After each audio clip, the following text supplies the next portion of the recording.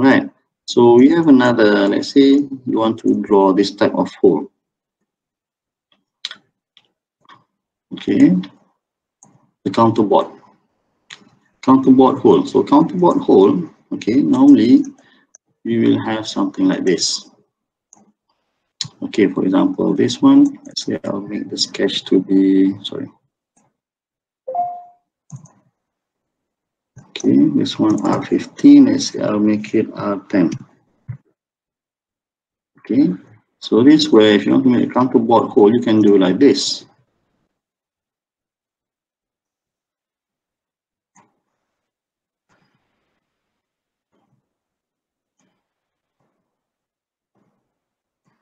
Okay, I'm projecting 3D this part so that center. Okay, simplicity, same center point, right? And let's say this counterbore is something like this, 20, yeah, 20, right? And then I have the thickness to be okay, putting it in wireframe so that you can see, right?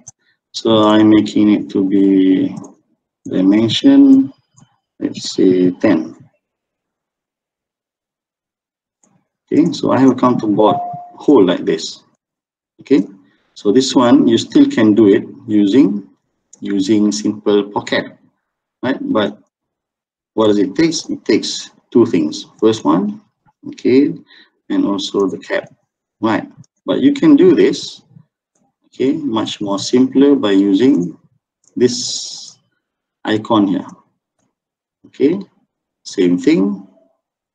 Okay let's say we want to make a counterbore all right so this is the diameter uh, above one this one. So this is um 20 is it? Second. Right. Okay and the depth. Right um the depth of this is uh, 10 okay this is 10 right? And then extension is up to last.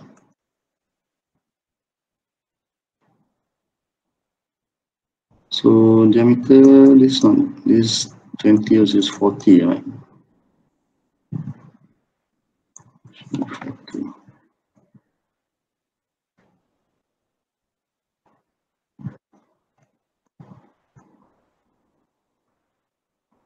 This is um, 30 this is diameter this is 30 this is um what's my measuring. This is um 20 right. so this 20